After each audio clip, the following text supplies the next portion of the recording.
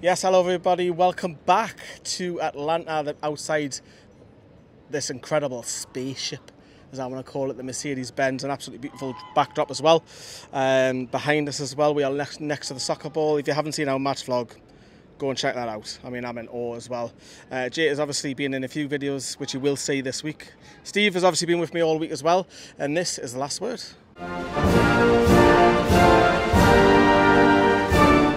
Uh, yes, so that was the American theme because obviously we are in America. Uh, this is the last word. We'll be talking about the game.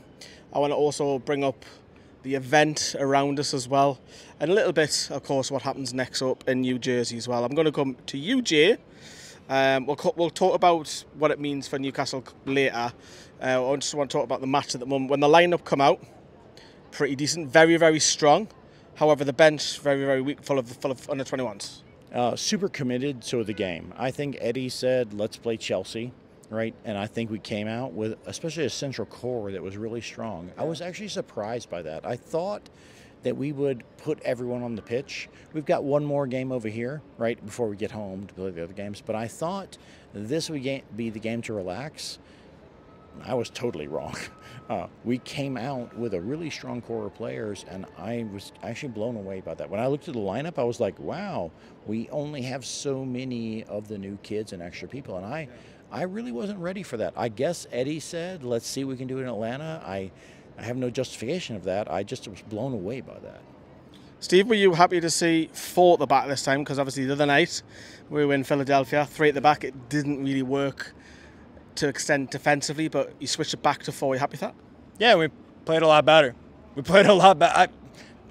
Okay, outside of the first half, because Chelsea really were. Nico Jackson was coming at us with just raw pace, energy, power, and Cuckoo shuffling things along. They they really did. Um, they played a really good first half, but defensively we still only conceded one compared to the three the other night with a back four. So less is more on some occasions, and I think that's just how we are you know, set up to be the most successful Newcastle United, four at the back. Um, yeah, I thought I, I genuinely that you know, with that whole thing about going three at the back, it's a friendly. It's time to experiment, and I think Eddie realized that. Let's just go four at the back. He did experiment. Lewis Miley straight in, full 90 minutes, and he did not look out of place. I want to talk about him later. Gordon obviously played in a few multiple positions. Isak went over to the left, so he experimented a little bit, but obviously Steve's mentioned there, Jay, the first half, it wasn't a great, probably 25 minutes because Chelsea was cutting through us two or three times, and eventually Botman's obviously done, uh, and Jackson goes round, and uh, it's a good finish, don't get me wrong, and we're, we're 1 0 down. So everyone is like, Chelsea won't be good this year. It's all going to be fine. They won't be at the top. I, I recommend you look at part of the first half of this because they knocked us on our feet for sure. Because we're all like, no, no, they won't rebuild that fast. Once doesn't have time. Well, the truth is, they came at us, and our lineup didn't deal with it well. Like we were very uh, reactionary, which is which is part of the game, right? Sometimes you're not on your front foot; you got to play off your back foot. But the space they found, especially down the sides on, uh, let's say the right side, um, from where they're sitting, like side, yeah. they just came at him, and there was space. Uh, I haven't. I got to go back and watch to find out why there was space. Like we don't expect just a solitary left back to deal with the whole space problem. But Do you there was reckon a- there was a protection there issue in front of the defence? I just don't know. I think maybe, maybe, and I'm highly speculative here, maybe this is a riff off of different formation, but a space control problem. Because I will say that when you look at the Philly game, the space problem's the same with a different formation. And so everyone is like, yeah, Chelsea, they got nothing. Mm, I don't know about that. I don't, I, I don't know about that. And I was a little shocked. Uh, For the first 30 minutes, I was really rocked back by that. Yeah, the front four look, look impressive from Chelsea. I think Pochettino's got an idea where they can all interchange and they're all diminutive pace. Doesn't matter if They're they're all young play. Sorry to cut Yeah, you they're off. all- they're they're- all young players who he Oh, can only going to mold, grow. Yeah, and he's going to obviously learn. mold But them into we we won't talk too much about Chelsea. Obviously, the first half they were fantastic, and we had an injury for Fabian I've just checked Lee Ryder's tweet. Apparently, he's got a hamstring tweak. That's why he was substituted. It's not serious, so fingers crossed. Obviously, Eddie Howe will be talking about that, I no doubt. Um, whether he makes the because it's only literally a couple of days for the New York game, probably not. But if it's not serious, that's great. Uh, we come into the um, half time, and obviously we were I, I, well, just before the half time, sorry, because I did miss the Miggy goal. I went downstairs because you will see in the vlog as, well. As did I. Uh, As did because this man, and I have to give you a big shout out because today you've treated me and Steve like kings today.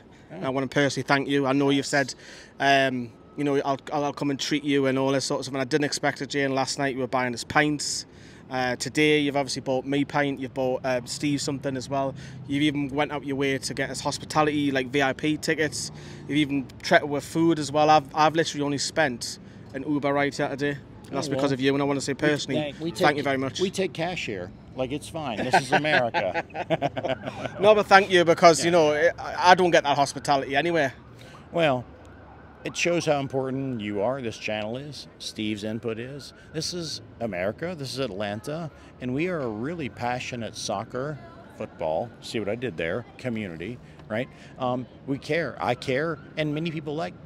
We just want you to feel welcome here. Oh, and you have today. Hey, hey, how did it look tonight? With seventy thousand people here, how many how many seats did you see missing? Not many. Almost none, right? And this is the full capacity here. I'm sure you'll stitch in some videos of all this, but it was incredible. Now, it was quiet compared to a normal Atlanta game here because there were four clubs and all the stuff, but everyone showed up for Newcastle versus Chelsea. It literally was a preview of the titanic struggle that will be four to eight, wherever you think we are. It is going to be a bloodbath at the top of the table, and it will be worse than this tonight, which is why I, I was hoping that we would be more sort of avant garde, more aggressive about that. I would say that we were at least moderately responsive. After the first 30 minutes of kind of getting knocked back, missed the Miggy goal. I'm so unhappy that I'm in my own house. That I was downstairs getting ready to film the players coming through. Which to get I was doing exactly I the same that. thing. And then I'm standing there, like I'm, I'm videoing, and then I'm just jumping up and down, which ruined the video. And I'm like, oh wait, you're supposed to be videoing. And I try to stop jumping, but then I was like, it's Miggy in Atlanta, and I started jumping again. Right? So it's it's a complex series of emotions, which is why it makes it easy. Like it's easy for Atlanta to welcome you, you all here, because I know you think us Yanks are loons, but we are footy mad. Like we are deeply footy mad, and we'll take whatever we can get. I want to say this tonight. I saw the best football I've ever seen in this building. I was trying to figure out how many matches I've been to here. It's a lot. It's mostly MLS plus some international friendlies and some cups with and a lot, I've, I've seen it all. I saw the best footy I've ever seen here tonight. And it was just Chelsea and Newcastle knifing each other in a friendly. Hey, but it was serious business, wasn't it, Lee, from the get go? Like the match was a little more intense than one might think for a friendly in the summer, wouldn't you say? I think so. The touch you can t- you can clearly tell it was a lot more, and I think I think the atmosphere, as you say, wasn't what you would probably say, but. You know, you talked about there, and I know I've gone on a tangent left field. This is what happens in the last. No, this, Sorry. this is what happens in the last word. Whereas, you know, the first game was probably probably a third full, and then obviously the two big cl- bigger clubs. Sorry, uh, it was almost literally a full house. So it was fantastic to see, and obviously me and Jay did miss the goal, which is a shame. But you are here. You were unfortunately I didn't get it on video, but I heard you were um, a bit of a Tarzan, you know, for this long hair, and you had your top off, and you literally just had. Well, I don't know what, what you had shown, but um, I think you enjoyed yourself. Oh man, uh, that that genuinely is the greatest moment I've had supporting Newcastle. Genuinely, one of the best moments of my life. I'm telling you right now. He skinned Cucurella. That guy's hair is on fire after that. I'm telling you, it's literally it's it's a bush on fire, Cucurella.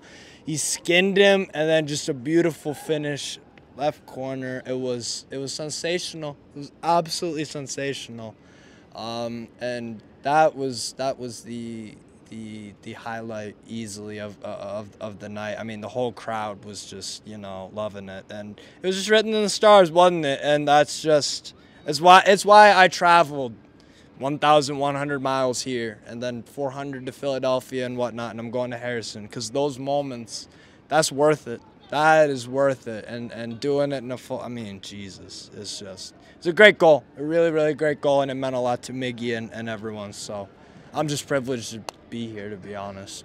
it's massive for Miggy because it had to be him, and I think it's also a good thing for your fans. When I say Atlanta fans, I oh, mean because absolutely. Everybody. I had Chelsea fans next to me. They stood up and clapped because they were all willing on a guy who's done it, been successful. Got his move to a Premier League side. Had he's had in different spells at Newcastle. It was great. He was poor, and he's come back great again. And that was his moment, and he took it. What can you say? I mean, we missed it, but he took it, didn't he? Well, I can see it on the replay. And by the way, my videos of the players coming in at that time, they're pretty good. But it's it's storybook ending, right? For the odds of us seeing Miggy on this pitch again, they're low. And I was saying that in my section. I was like, hey, enjoy Miggy because the probability of him playing here, it's possible. World Cup 26. World Cup 26. That kind of positive attitude right there is what I'm looking for there, Steve. But the reality is, probability is low, so enjoy it while you can see it. Like live in the moment for what we are looking at because you can't control the future. So be now. And for that kind of send off, especially for me, longtime Newcastle fan, relatively recent since the founding of Atlanta United, to see the best player that's ever been on our pitch without compromise, without question. Miggy is a good Premier League player. He was unmarkable over here in our league, and we watched that for years. For him to sign off with that goal at the end of the first half, you know, if the only price that I had to pay was that I didn't see it, that is well paid and well purchased, Lee. And he did this, didn't he? Did he celebration, of course? and I, I also I said to your missus uh, uh, just off camera before. I think that was a deliberate substitution late in that second half, so he got the applause. He was the board lit up with him. I tried to take a picture of the board with 24 and someone else, and I was like, "Oh my God, they're subbing Miggy early." So I was trying to grab a picture of his final sub, but then I think everyone was like, "No, no, we're not doing that right now. Let him play a little longer." And he went on and played another 12 minutes or so before the board. Because I'm telling you, where I was, I saw the board go up with his number on it, and then it quickly came down, and they let it run out. Which is, by the way, we deserve that here in Atlanta. We come here. This stadium sells out six matches a year at 70,000 people for the MLS. This isn't Premier League football. This is us over here. We regularly sell 40,000. Top 10 attendance in the world. Top 10 attendance in the world. You guys have been in and around that territory. You saw the beautiful stadium. We went around, we looked at all the angles. It's amazing. So it's easy to come here for, you know, MLS football. But to see Miggy sign out like sign out like that, let's do that. Like I am behind that 100%. World class. Yeah, the two things. He scored the goal and he was substituted deliberately, I felt, for, so he got the raptures and the, the applause and so on. But uh, we were better second half, weren't we, Steve? It, it- obviously, yes, we scored just before the break, but um, we were a little bit better, weren't we? A little bit more energy. I think our defence was a little bit more structured, although it was great to see Nick Pope by the back, by the way, because he was a half-time substitute. Chelsea was still a threat, despite us playing better. And Nick Pope, he does three saves. Two of them were absolutely world class, weren't they? Oh my god, especially the last one at the end. He had to use all of, all of his all of his height, all of his wits, all of his reflexes. And the best thing about all three saves, you know what it is? And I value this most in goalkeepers. No rebound chance was offered to any of the attackers. You know how many good goalkeepers, you know how many goalkeepers make incredible saves, but then a guy is there to tap it in, and it's like, oh, that was for nothing. Not Nick Pope. All three of them. One of them was pretty good. The other two were just. I mean, I said you, I said you, Dubravka doesn't save that. it doesn't. I mean, but that's for other reasons. But yeah, ex- ex- ex- exactly. He just doesn't make that kind of save. And Nick Pope has won us multiple points. I mean, the immediate one that springs to mind, the greatest game I've seen Nick Pope in a Newcastle shirt was Brighton away last year, the nil nil. Early, absolutely fantastic match. Lucky to get away with a, get away with a point Like there. Heath, yeah, The? Leicester game as well, the nil nil late in the year. Leicester did I nothing. don't, I don't want you to be reeling off five or six No, I'm, matches. just saying, I'm just saying this is this is what Nick Pope does Yes. when Yep. he Yep. When he needs to save something nine, eight, ten, uh, you know, times out of ten, he does it, and he did it again. So you know, just business as usual from him. And again, like I said, I value saves that you can get out for a corner, get out for a defender to clear it, because then all that hard work it actually meant something. It's not just an easy rebound tap in. So all three of them are that. Can Yeah. I ask you a question, Lee Lawler? Right? Go on then, Jay. So you come to America, You come to our big house here. You've seen what it is. What do you think of Atlanta football? Well, I did want to come at that later, but I'll answer it now because No, well, I'm the game sure. ended. The game ended. Um, well, well, I want to talk about the players in a second, but I will talk about Atlanta. Um, I think this is the best stadium in the world. That's I know, I know you showed me around, but even if I was just walking around on my own, I might not have seen everything that you showed me today. But I would have been like, because I've been to Spurs, I've been to Wembley. Um, you know, I, I- I might say the new structured Real Madrid Bernabeu and the new Camp Nou in a couple of years and so on. But the future is now. I said that to you earlier. That Yeah, the future is now. That is. It looks like a spaceship, and we've all we've been talking all week. Haven't we? This is the one we want to go. This is I the one. I told you too. I told you too that this is on par at least with. This is the one we wanted to go to as well, and I and I sense, and I'll come back to you as well. You're seeing, you talk about Juventus shirts. Do you think that now will change because the impact we've been at the fans the last couple of days, the fan events with Shea Gibbons, Shola, meeting up, and now today. Love it. Still got the band on. Still got the band. I've ripped mine off. Rip- I've ripped the band-aid off. Uh, as the expression goes. Do you think now? I'll throw one back at you. Is now Newcastle will have a small legacy im, im, inputted in the city. I think this is the kind of thing that would that could take us past Miggy's legacy. Like I think that this is the direction we want to go.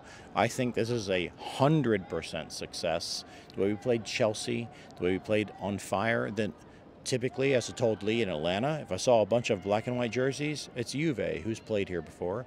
Well, now, now I'm going to have to look twice mm. because the reality is they're quite likely to be Newcastle jerseys. And I would measure this, it's early days. It is still early days here. But I predict high success from this brand management plan right here. And Newcastle will always be welcome in Atlanta because of Darren Eales and Miguel Almirón. We will never forget them here. Yeah, we've got a great video with Jay coming up about Darren Eales in the next few days. But yeah, so the the impact of Atlanta. I mean, it's it's what we wanted to come, uh, wasn't it, Stephen? Um, before we talk about a couple of players and tweaks and stuff, here is the manager Eddie Howe. You know, we, we tried to go with 111 and tried to get them to go as long as we could into 90 minutes if possible. thought the players did really well physically because it's been a hard week for them. They've had no sort of mental escape other than the baseball. It's been a lot of training and a lot of hard work, and I think we came into the game slightly fatigued again today. That you know that we wouldn't train as hard as we have for a Premier League game. I think that showed at times, but full credit to the players. You know, mentally we dug it out. We um, performed very well, and yeah, I was really pleased. Okay, so that was Eddie Howe. Uh, Steve, I'll come to you on this. Uh, I want to talk about Lewis Miley. Literally got well, he played the full game, didn't he? And to, to be honest with you, he did look not out of place. You, you might question saying there wasn't protection in the first half with Tonali, but out with him and Tonali, Miley looked better that day. It was the same thing with Bruno, or sorry, it was the same thing with Joel. Oh, just to shout out Bruno. He shouted Bruno in the players' entrance down there before, and Bruno looked at her. Well done. Uh, yeah, so you'll see that in the vlog as well. But yeah, sorry, carry on. No, I was just gonna say, and this is the second straight game. Lewis Miley has looked like a Premier League caliber player, with the quotations, of course, that it is just a preseason game. But the sample size we've had, he's taken his chance. He looks calm, doesn't he? looks calm, composed. He looks like he has a clue of what's going on in the game. I like the vision now, that he now you said to me, Yeah. would you loan him out? Yeah, now, we're talking ha- about that ha- in the ha- cap. having said that now, would you? I probably still would, yeah, just because we have so many midfielders. We have Joelinton, we have Guimaraes, we have uh, Jay agrees then. We have Willock, we have Anderson. Gordon could possibly play as an eight, although he did really, I thought he did really well tonight. yeah. Gordon You look bright again. left and uh, a bit centrally too. But anyways, I I still would because with a kid that special, I think why not give him that game time because then he can actually, you know, there is going to be drawbacks to loaning him out. Yeah, he could be here. It's I think it's it's it's the more sensible thing. The emotions of it of of watching him play like that. Yeah, it looks like he fits and ultimately it's up to Eddie Howe and, and of course Shola, who, who's running the loan loan kind of thing. So I, I, I genuinely think two years he'll be a he'll be a mainstay. Yeah. But let's give him two years to develop somewhere. sick of the sight of Shola. I love your, I love your Shola. I've seen him too many times this week. That's Yeah, uh, I three, took a four times. I took a picture with him. The man is giant. Yeah, like he's I a big- he's a barely came up it wasn't crazy. It was. I, I wanted crazy. to talk about two other things before we wrap up. Obviously, um, we'll head to New York in a couple of days' time. We've got all the videos coming there as well, um, which I would imagine the guys that didn't play today will feature in that game, the likes of Bruno and so on. Um, Jacob Murphy, Matt Ritchie. I don't know if Murphy's ready with his shoulder injury, but um, two other things, maybe a negative and a positive, because this is what we're doing the last word. Um, Anthony Gordon had a spell, what was it, on the left side, and then about half an hour up top, and then played a little bit on the right. Do you see him as your third option behind the main two, Wilson, Isak, uh, and also as a utility player where he'll play anywhere across the three Steve's mentioned, obviously centre midfield, he could fill in the job. Is he now our utility player for this season? Possibly. I think he passed Eddie's do you have the energy test? Right? I think that was actually what we were looking at. I, I don't know that to be true, but I suspect that. So every minute he played, left, forward, middle, he was involved. You know, maybe not perfectly, not every play, like overcommitted in some spots, but you know what? I love to see you overcommitted. Like that means that you made a decision and went forward. Um, I think I think he passed that. If that was a test, and that's me speculating, I think he passed it with flying colors because that shows that he's like, "Put me in, coach. I am ready to play." Right, and that's what we're looking for. And he's got that ten, which has got got some weight on it. It sort of lightens you and it heavies you at the same time. But what I saw tonight was a player committed to being like, you know what? I'm doing this through for a long time. I remember I looked up for a minute, went and got another beer, came back, and I was like, wow, Gordon is still going like the Energizer Bunny. And I was like, you know what?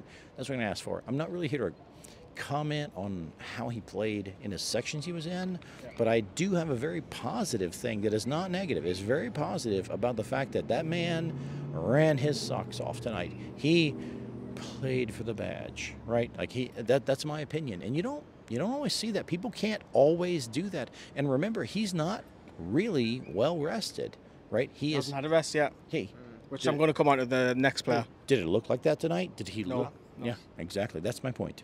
Next player uh, who hasn't been rested is Tonali. I don't think he's really had a great start. I know it's pre-season. He looked all right in the Rangers game. The Villa game, he got bypassed by McGinn and scored a couple. Tonight, Miley I thought was better. I think he will come good. Look, I'm not going to jump on him and start, no, you know, criticise him, but I think he will come good. Is it just a what is it? Is it just a? Does he need a rest? Is he is he ready? Is it the language? Is it communication? Is it is it chemistry? Is it mixture? Or you've just got to look back and Jay and think, wait a minute, he's only played three games. It could be all these and none. I will go with Steve's expertise on the Italian league for sure. But when you bring someone over here from that space, it's about a different game entirely. We always talk about can't come over to Spain, it's too hard. France is different. America, good luck, right? But Italy has its own burden where it comes over here as well too. You know what? Yeah, maybe parts of that were part of what was tonight. I don't care. I, I just don't care. Like, this is a friendly in America on another continent. It's going to be okay. We do not rule in or out anyone based on tonight. And so, I don't know. I'm not upset by that at all. Like, he was on the pitch. We did good stuff. It's going to be okay. It's going to take a lot more negative for me to say anything negative about that man. Like, let the man do what he does. It'll be okay. It'll be okay. Of course, we'll have to talk about it because I'm I've got to play devil's advocate. I can't always be Mr. Nice Guy. Tom. Uh, we will wrap up because it looks like your wife Anita is doing a fantastic job. But she looks knackered, bless her. um, she looks like she's struggling a little bit. You got you got the soul back yet? She's, she's nodding a little bit. just nodding a little bit. Uh, we will wrap up here. Of course, we want to know what you think as well. Harvey Barnes will play, of course, in a couple of days. I forgot to mention him. Uh, me and Steve are obviously heading up to uh, New Jersey slash New York. So I'd imagine some videos around Times Square or whatever because I love the place. But yeah, that is it. Uh, we've got plenty of videos with Jay involved as well the next few days. They've already been pre-filmed. Uh, go back and check out the match reaction, which I've already put out, and uh, the vlog as well. And we've got tons more, tons more videos here. I'm rattling on. But thank you very much to, to you, Steve. Thank you very much to you, Jay, and Anita behind the camera as well. From Atlanta, take care, everyone. Watch what it's doing. Bye bye.